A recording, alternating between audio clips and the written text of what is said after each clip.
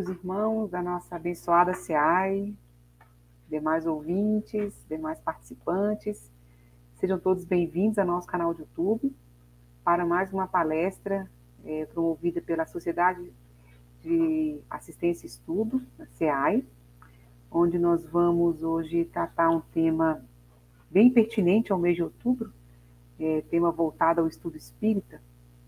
E antes da gente iniciar as atividades, eu vou fazer uma leitura do livro Bilhetes Fraternais, Espíritos Diversos, e tem como título As Bênçãos do Espiritismo. O Espiritismo se nos apresenta como roteiro de segurança para o equilíbrio do espírito do homem. É de Manuel Filomeno de Miranda. Todo aquele que recebe a oportunidade de conhecer e estudar o Espiritismo deveria, vez por outra, refletir sobre as bênçãos que dimanam do aprendizado espírita. Essa reflexão o ajudará a manter o estímulo, a confiança, a alegria e a paz nos dias tormentosos da existência material. Quem se torna convicto da revelação espírita amplia os próprios horizontes, uma vez que não teme mais a morte, pois sabe que esta não existe. Aceita as responsabilidades da vida e, por ser eterna, oferece a cada um a possibilidade de viver o melhor possível dentro dos próprios padrões evolutivos. Acata os sofrimentos da existência física, pois compreende a sua necessidade como provas ou expiações. Assume o resgate das próprias faltas desde que, tendo a mente e o coração aberto às intuições do plano superior, sabe exatamente o momento de auxiliar a quem prejudicou e a forma de fazê-lo. Não se desiste de si mesmo, porque sabe que o progresso se faz lentamente e que Deus espera por nós, onde e quando quisermos. Confia no amparo dos Espíritos amigos e prossegue sem desfalecimentos, uma vez que já entendeu que sustar o passo na caminhada vai contra os próprios interesses.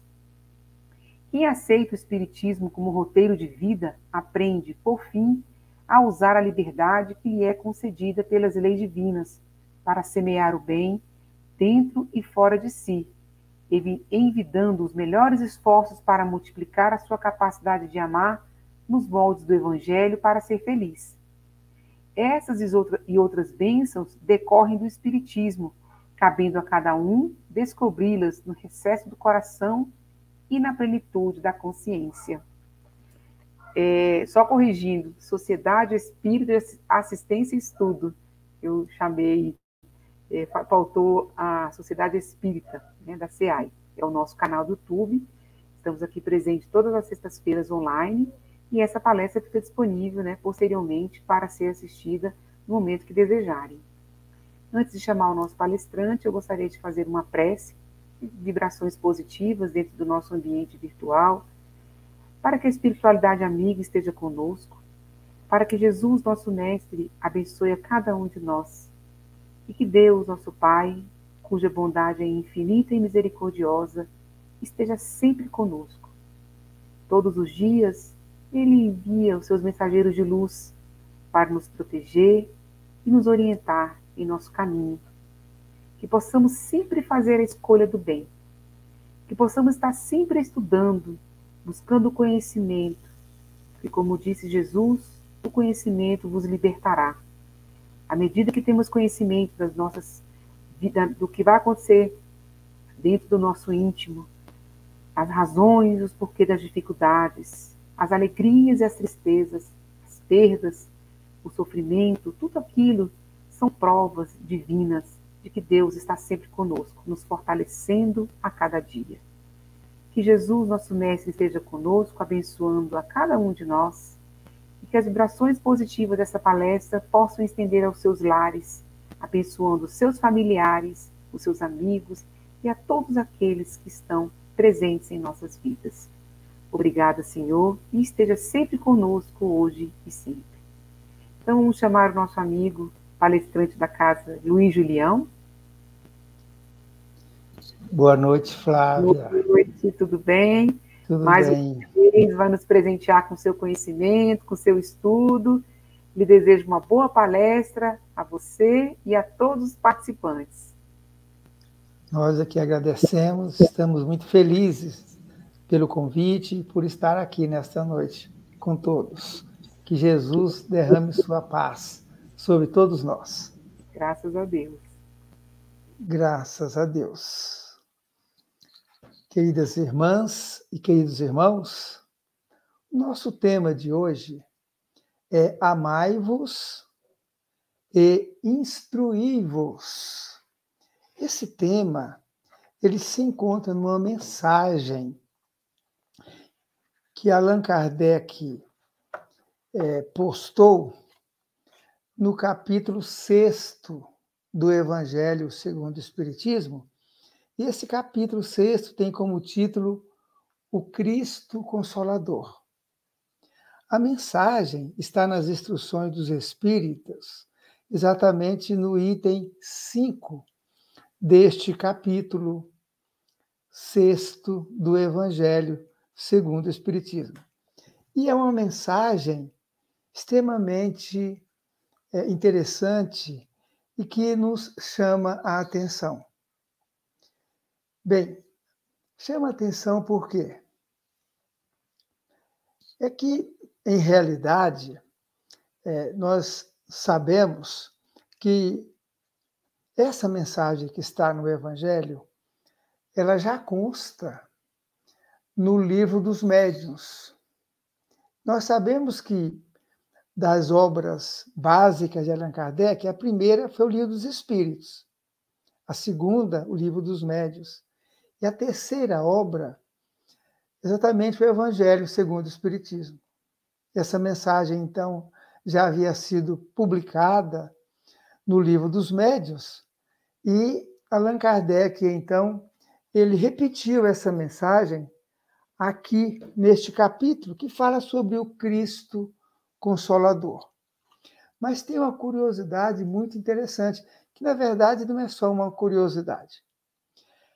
É que essa mensagem ela foi assinada por Jesus de Nazaré. E Allan Kardec, então, cuidadoso como sempre, no livro dos médiuns, após ele postar a mensagem, ele emite uma nota de esclarecimento a respeito deste, deste fato. E ele emite essa nota porque Allan Kardec era profundamente sincero, honesto e leal, como deve ser qualquer grande missionário que fala em nome do Cristo aqui na Terra.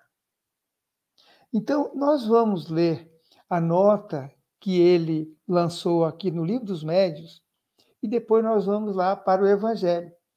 Então, após eh, grafar essa mensagem, Kardec diz o seguinte: olha, esta comunicação, que é a comunicação que nós vamos examinar hoje nessa palestra, obtida por um dos melhores médiums da Sociedade Espírita de Paris foi assinada, diz Allan Kardec, com um nome que eu respeito, nos não permite reproduzir, senão sob todas as reservas.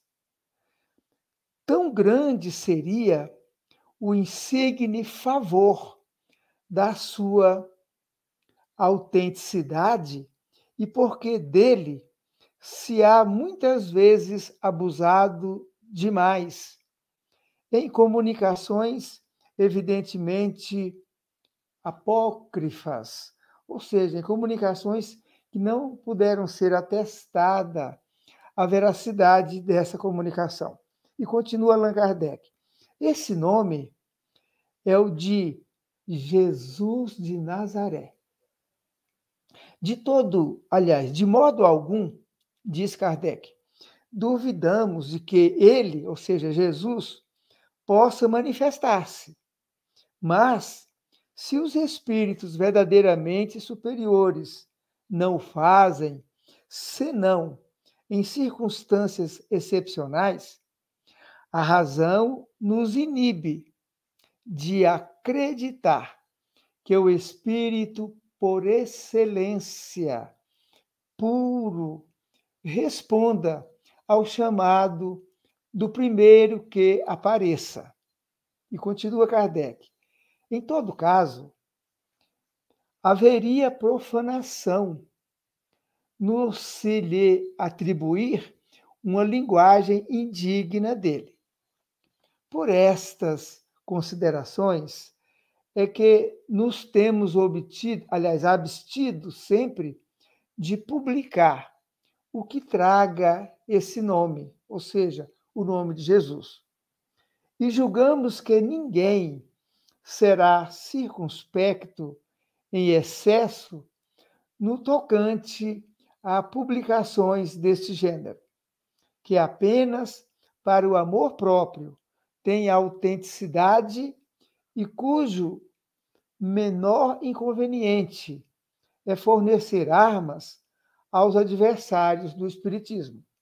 Então, ele está esclarecendo aqui que ele evitou grafar que a mensagem era do próprio Cristo por força de, vamos dizer assim, preservar a própria doutrina, porque existe sempre aqueles que não acreditam em nada e mais, né? que aproveitam determinados acontecimentos né? para criticar né? o que os outros fazem e até mesmo as outras religiões, quando nós sabemos que o Espiritismo sofreu muitas perseguições no seu início. O próprio Allan Kardec sofreu perseguições terríveis lá na França. E continuando, ele diz assim: olha, como já dissemos, quanto mais elevados são os espíritos na hierarquia, com tanto mais desconfiança devem os seus nomes ser acolhidos nos ditados, ou seja, nas psicografias. Fora mister ser dotado de bem grande dose de orgulho para poder alguém vangloriar-se de ter o privilégio das comunicações por eles dadas e considerar-se digno de com eles confabular, como com os que lhe são iguais. E por último, ele diz assim: na comunicação acima, que é essa comunicação que nós vamos examinar hoje, apenas uma coisa reconhecemos, diz Kardec: é a superioridade incontestável da linguagem e das ideias, deixando que cada um julgue por si mesmo se aquele de quem ela traz o nome não há renegaria. Veja né, o que nós chamamos hoje de transparência do codificador da doutrina espírita. Ele, ao receber a mensagem através de um médico, ele diz um dos mais notáveis né, lá da, da, de Paris, ele diz que é, deve ter todo o cuidado de receber uma mensagem assinada por Jesus ou pelos grandes vultos né, da humanidade e da espiritualidade. Mas ele não poderia colocar o nome do Espírito de verdade se a mensagem veio grafada como sendo Jesus de Nazaré. Seria né, ele esconder a verdade que ficaria para sempre um espírito da hierarquia é, da grandeza de Allan Kardec jamais faria isso. Então, ele se omitiu para evitar críticas desprovidas de fundamento, mas fez a nota de esclarecimento, deixando claro com todas as letras que foi assinada pelo Espírito de Verdade. E no final ele diz né, que todos nós ficamos inteiramente livres para aceitar ou não aceitar essa mensagem, quando como sendo, né, originária do próprio Jesus. Mas ele destaca ali a grandeza, né, a elevação das palavras, a coerência profunda dessa mensagem com os ensinamentos de Jesus. E nós aprendemos com o próprio Jesus que se conhece a árvore pelos seus frutos. São João diz que nós devemos verificar se o Espírito vem de Deus e verificar através do conteúdo da mensagem. Um espírito inferior não tem conhecimentos, não tem recursos para escrever uma mensagem assim, perfeita, de grande profundidade. Do mesmo modo que um espírito elevado não vai escrever uma mensagem que seja de baixo nível, que comprometa a mensagem do próprio Cristo aqui na Terra. De sorte que, é, como disse Allan Kardec, fiquemos todos livremente à vontade para aceitar ou não. Mas nós vamos examinar a partir de agora a mensagem que está aqui também no Evangelho, como dissemos, segundo o Espiritismo. Nós vamos ver que a mensagem ela foi é, zarada na primeira pessoa. Alguém dizendo, ele começa assim, olha, venho, veja, venho, ou seja, eu venho, né? Venho como outrora aos transviados filhos de Israel, trazer-vos a verdade e dissipar as trevas. Trazer a verdade e dissipar as trevas. É muito importante que nós lembremos que, de acordo com o próprio Jesus anunciou, quando ele esteve aqui na terra na sua missão, e isso está lá no Evangelho de São João, no capítulo 14, versículo 26. Ele diz assim, quando ele anuncia o Espírito de verdade, ele diz: Porém, o Consolador, que é o Santo Espírito, que meu Pai enviará em meu nome, vos ensinará todas as coisas e vos fará lembrar ou recordar tudo que vos tenho dito. Então veja, ele já disse quando esteve aqui na terra que rogar a Deus para que Deus enviasse um outro consolador, o Espírito de verdade, que viria para nos ensinar todas as coisas né, e recordar o que ele ensinou. Então, veja, o título da nossa palestra hoje é Amai-vos e instruí-vos. Percebe? Ele está falando aqui, então, que o Espiritismo viria para nos ensinar toda a verdade e recordar o que ele ensinou. E é por essa razão mesma que a doutrina espírita é absolutamente fiel aos ensinamentos de Jesus. Os próprios espíritos nos afirmam que se nós encontrarmos uma vírgula que esteja em desacordo com o ensinamento de Jesus, que nós devemos abandonar esse ensinamento. Ele não veio né, da videira celeste, que é o Cristo. E então, prosseguindo aqui na mensagem, né, eu vou repetir o trecho, olha, venho como outrora aos transviados filhos de Israel trazer-vos a verdade e dissipar as trevas. E aí ele usa uma expressão muito interessante. Ele fala: escutai-me. Escutai-me. Essa frase ela é muito interessante. Escutai-me. Por que, que é interessante? Porque essa questão da gente ouvir o Cristo, isso já está lá no Velho Testamento. Quando é anunciado a Moisés a vinda do Messias. E o que que diz? Isso está lá em Deuteronômio, no capítulo 18, versículo 19, que ele diz assim, olha, mas o que recusar a ouvir aqui ele disse na mensagem: escutai-me, ou seja, ouvi-me, né? Mas o que recusar a ouvir o que ele disser, ele seria Jesus, o enviado de Deus, de minha parte, pedir-lhe-ei conta disso. Então já está lá no Velho Testamento que Jesus tem que ser ouvido, porque ele é o mensageiro de Deus, a que veio para trazer para nós os mandamentos do nosso Criador universal. Mas nós percebemos que a religiosidade é toda programada, não tem nenhum improviso na mensagem celestial a nós aqui na Terra.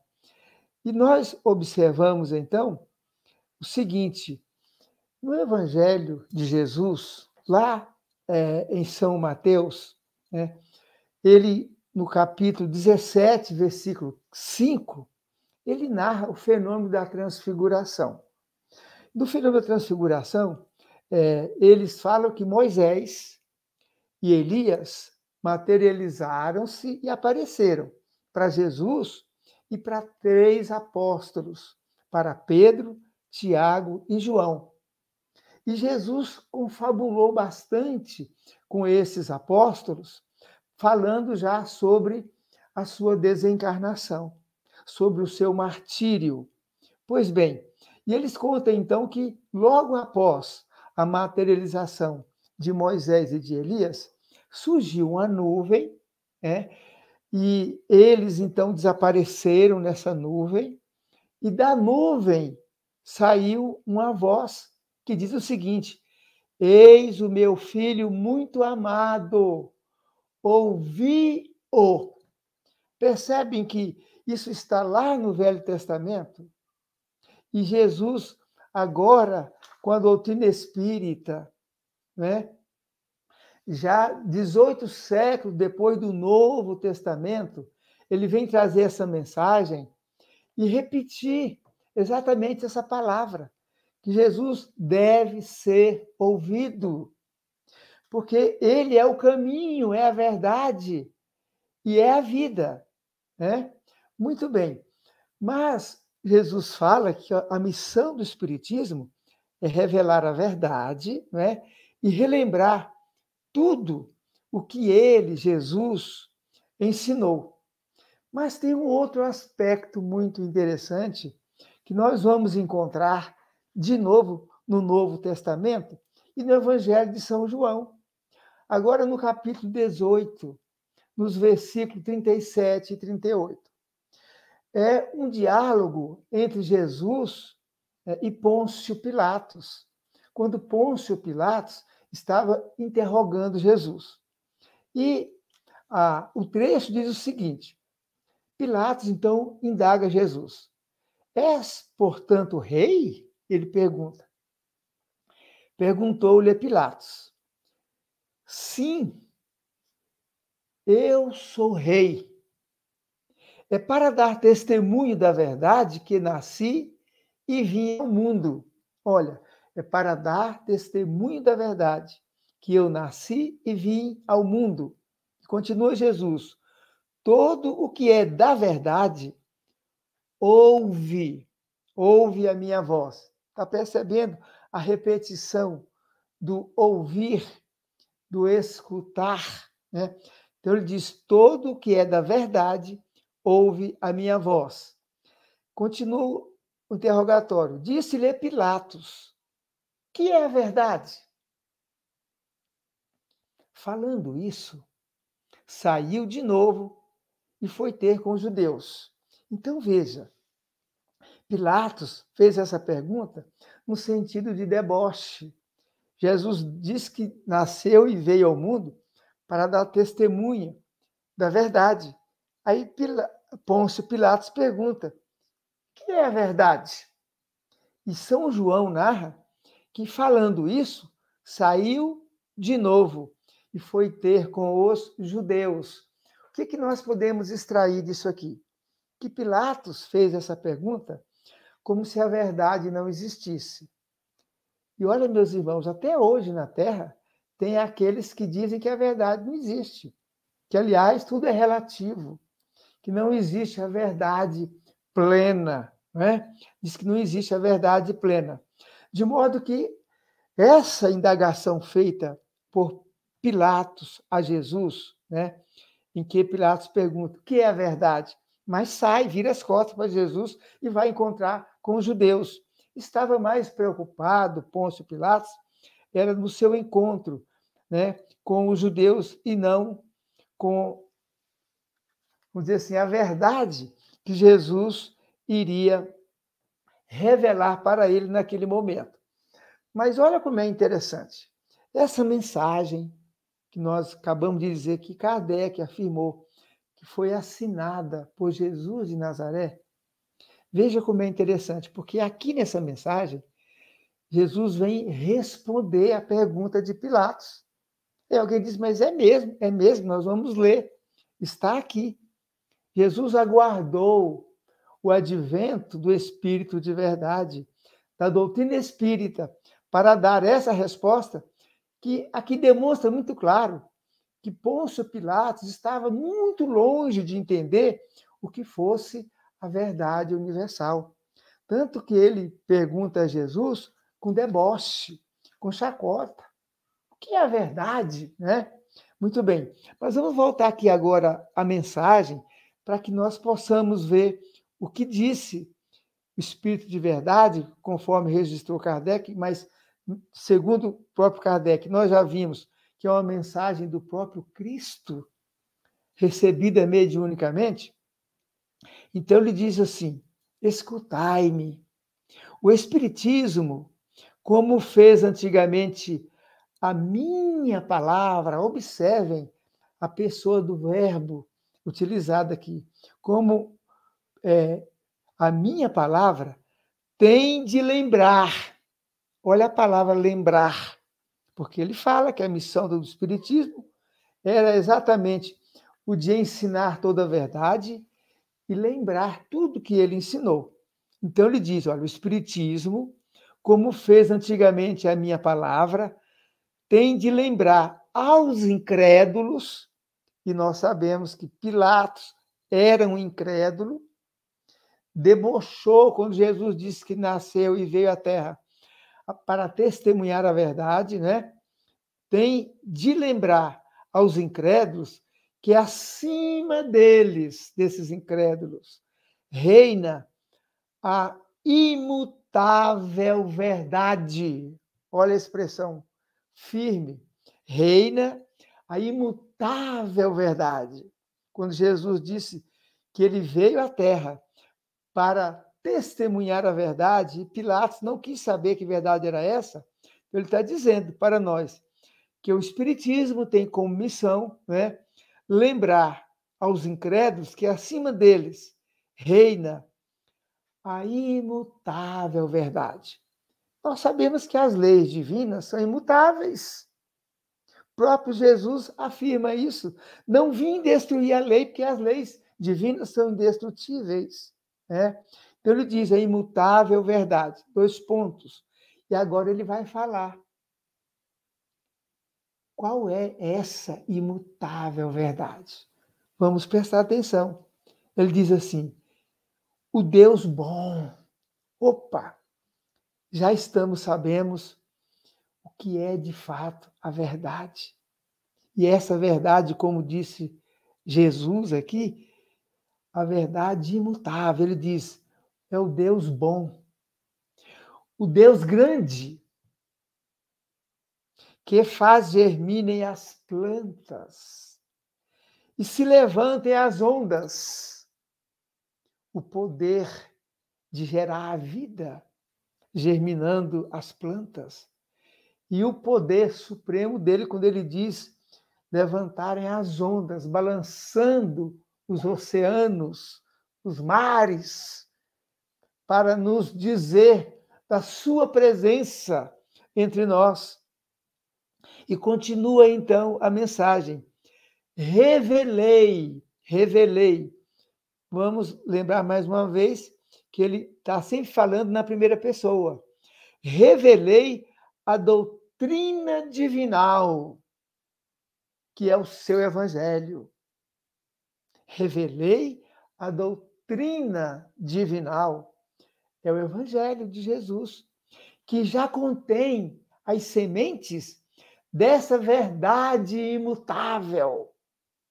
É conhecendo o Evangelho de Jesus que nós vamos chegar ao Pai. Pelo conhecimento que vamos ter, não só de Deus, mas de toda a sua obra. E é por meio da obra divina, do conhecimento da obra de Deus, que nós iremos conhecê-lo porque se conhece a árvore pelos seus frutos, se conhece o autor pela sua obra, está lá no livro dos Espíritos. Então ele fala: revelei a doutrina divinal como um ceifeiro. Ceifeiro é aquele que ajunta, aquele que colhe, né? reunia em feixes o bem esparso no seio da humanidade e disse: Vinde a mim, todos vós que sofreis, que eu vos aliviarei, porque meu fardo é leve e meu jugo é suave. O que o Evangelho de Jesus nos concita, nos chama, nos convida exatamente que amemos uns aos outros. Essa é a grande tarefa de todos nós, amar o nosso próximo. E prossegue então aqui o texto dizendo: Mas ingratos, os homens afastaram-se do caminho reto e largo, que conduz ao reino de meu Pai. Veja as expressões fortes, precisas, sem margens para ilações. Ele diz: Mas ingratos, os homens afastaram-se do caminho reto e largo que conduzem ao reino de meu Pai e enveredaram, enveredaram os homens pelas ásperas sendas da impiedade. O que é impiedade? É a crueldade, é a desonestidade, é a violência, é o cultivo do ódio, da vingança, do orgulho, do egoísmo, da prepotência, da vaidade. É isso que ele está nos dizendo. E a história registra as matanças que foram realizadas durante esses milênios em nome do Cristo, em nome do seu evangelho. E é isso que ele está dizendo para nós. E ele diz: olha, continuando, meu pai não quer aniquilar a raça humana. Certamente que Deus não quer isso, porque ele já nos criou imortais. O que Deus quer é que nós cheguemos ao nosso glorioso destino, o destino que ele mesmo estabeleceu para nós. Então ele diz aqui, prosseguindo: Meu pai não quer aniquilar a raça humana, quer que, ajudando-vos uns aos outros, praticando a fraternidade, a solidariedade, construindo a paz, que são expressões do amor, praticando a caridade, que é o amor em ação. E ele fala, prosseguindo aqui, ele diz assim: ajudando-vos uns aos outros, mortos e vivos. Porque esse entrelaçamento entre os encarnados e os desencarnados, ele não é de hoje, ele é desde o início da humanidade. E a Bíblia Sagrada está cheia desses relatos. Ele diz assim: olha, isto é, mortos segundo a carne, porquanto não existe a morte, diz a mensagem celestial. Vós socorrais, aliás, vos socorrais mutuamente. Nós temos o dever da fraternidade e da solidariedade, uns ajudando aos outros, porque ninguém chega ao reino dos céus sozinho, muito menos perseguindo, difamando, destruindo o nosso próximo. E que se faça ouvir não mais a voz dos profetas e dos apóstolos, mas a dos que já não vivem na terra. Olha, ele enfatizando as comunicações entre encarnados e desencarnados, destacando aqui a importância da mediunidade, esse instrumento que nos permite nos entrelaçarmos com os nossos irmãos do mundo espiritual. Aclamar. Então, ele está nos dizendo que nós entramos em contato com esses irmãos da espiritualidade que clamam: orai e crede. Orai e crede, pois que a morte é a ressurreição. Morrer é nascer para o mundo espiritual, é voltar para a nossa casa, é renascer para a vida eterna. Ele diz: orai e crede, pois que a morte é a ressurreição, sendo a vida a prova buscada. Está falando da vida aqui na Terra. Essa vida de provas e de expiações. Então, a vida aqui é a vida de provação.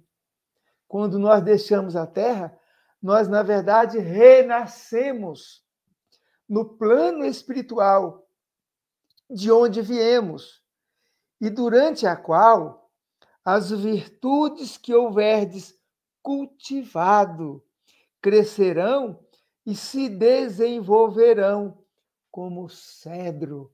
O cedro é uma grande árvore.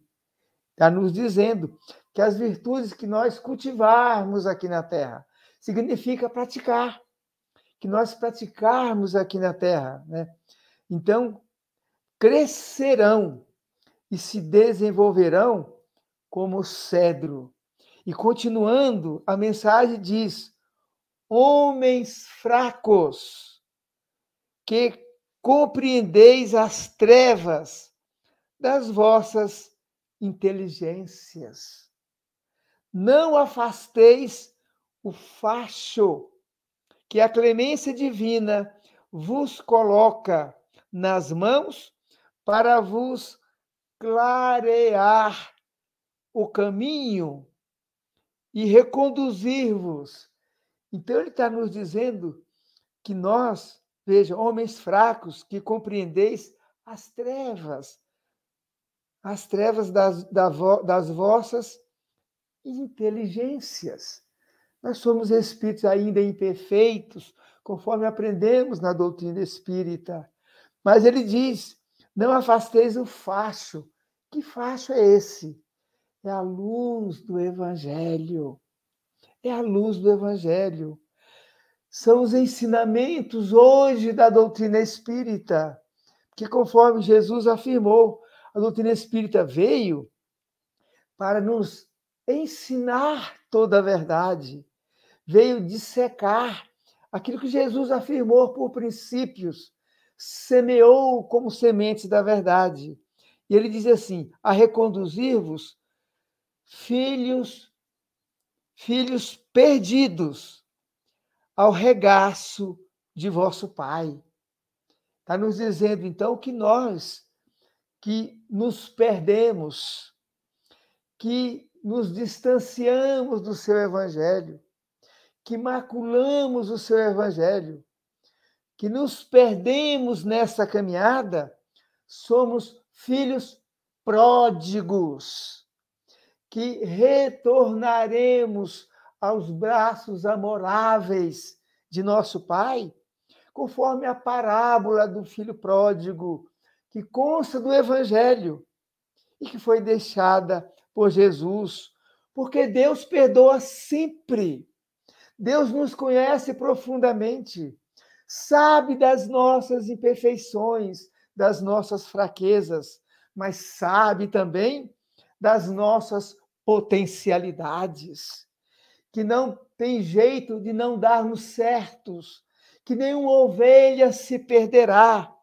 E continua então a mensagem: Sinto-me por demais tomado de compaixão pelas vossas misérias pela vossa fraqueza imensa, para deixar de estender mão socorredora, mão socorredora aos infelizes transviados que, vendo o céu,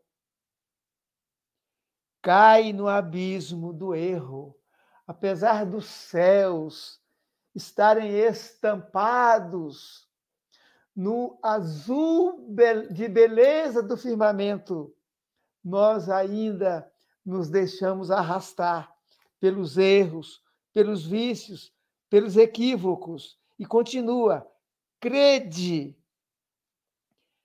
amai, diz a mensagem, meditai sobre as coisas que vos são reveladas. Reveladas por quem? pelos Espíritos do Senhor. Não mistureis o joio com a boa semente, ou seja, o joio com o trigo, as utopias com as verdades. Sabemos que a humanidade, durante muito tempo, criou muitas utopias, ou seja, ideias falsas, ideias que não chegarão a nada, que mais enganam do que traz segurança, que na verdade despertam as vaidades, a ganância, a intolerância. E aqui vem, então, diretamente falar aos espíritas. E ele diz: Espíritas, amai-vos. Este o primeiro ensinamento que nós já conhecíamos, porque Jesus já havia revelado. Ele foi indagado qual era o primeiro e o maior de todos os mandamentos. Isso está lá em São Mateus. Está exatamente no capítulo 22, a partir dos versículos 34. E ele fala que o primeiro e o maior mandamento amarás o Senhor teu Deus de todo o teu coração, de toda a tua alma, de todo o teu espírito, de todo o teu entendimento, e ao próximo como a si mesmo. Mas aqui, Jesus vem nos dar o segundo mandamento. Ele fala: Espíritas, amai-vos. Esse é o primeiro ensinamento. Instruí-vos. Este, o segundo. Observem a coerência. Se o próprio Jesus disse que a missão do Espiritismo era ensinar a verdade, relembrar tudo que ele ensinou, aqui ele vem dizer para os espíritas que estão recebendo essa doutrina divinal. Quando ele diz assim: olha, o segundo mandamento é instruí-vos, buscai a verdade, essa verdade que Jesus quis transmitir para a humanidade através de Pôncio Pilatos, mas ele não quis ouvir, não teve interesse, certamente pela infantilidade espiritual daquele irmão naquela época. E diz aqui, então, Jesus, no cristianismo encontram-se todas as verdades no cristianismo. Por isso que ele diz: Eu sou o caminho, a verdade e a vida. Ninguém vem ao Pai senão por mim. Então ele diz assim: olha, são de origem humana os erros que nele se enraizaram, ou seja, no cristianismo, os desvios que nós, enquanto, enquanto humanidade, fizemos no seu evangelho. Eis que do além túmulo, que julgáveis o nada, vozes vos clamam a manifestação da espiritualidade. E nós sabemos que a doutrina espírita, na verdade, é esse Pentecostes universal, em que espíritos se manifestaram em toda parte do planeta, trazendo a mensagem celeste. Então, ele está dizendo que os espíritos vieram de toda parte nos dizer: irmãos, nada perece, nada perece. Jesus Cristo é o vencedor do mal. Sede os vencedores da impiedade. E Kardec grafou o Espírito de Verdade, Paris, 1860. Portanto, meus irmãos, nós espíritas já sabemos o que devemos fazer. Primeiro, amar, porque é o primeiro mandamento. Amar com toda a nossa força. Transformar o nosso amor em fraternidade, em solidariedade, em benevolência, em indulgência, em perdão, em bondade sincera para com os nossos irmãos. E o segundo mandamento, buscar compreender, porque a doutrina espírita nos diz: o Espiritismo vai trazer a fé raciocinada. Acredite em Deus, mas sabendo porque acredita. Acredite na vida espiritual, mas com conhecimento de causa. Que a fé seja aquela que transporta montanhas, porque é baseada na luz do conhecimento. E que Jesus nos abençoe. Muita paz a todos. Luiz Julião, belíssimos ensinamentos, né? À luz da doutrina espírita, com mensagens maravilhosas e edificantes de Jesus, né? Que possamos realmente nos instruir, amar uns aos outros, né? E amar o próximo. É aí o grande ensinamento da nossa doutrina, ser caridoso, né? Ser benevolente, hoje e sempre. Muito obrigada né, por mais um trabalho na nossa Seara. Obrigado pelo seu estudo aprofundado, pelo seu conhecimento, por ter nos dado essa maravilhosa noite de conhecimento e de luz. A casa agradece. Sou eu que agradeço, viu, Fábio? Agradeço a casa, a vocês, a Jesus pela oportunidade de estarmos juntos falando do seu evangelho e agradecemos sobretudo a Deus, nosso Pai, pela vida e por todas as oportunidades que ele nos oferece. Exatamente. Obrigado, senhores participantes, mais uma vez a nossa palestra online. Convidamos a todos para a próxima, no dia. na próxima sexta-feira, né? Acho que é dia 8 de, de, de outubro, é, com Flamarion Vidal, Consolador Prometido. Então, todos convidados para a nossa próxima palestra em nosso canal do YouTube.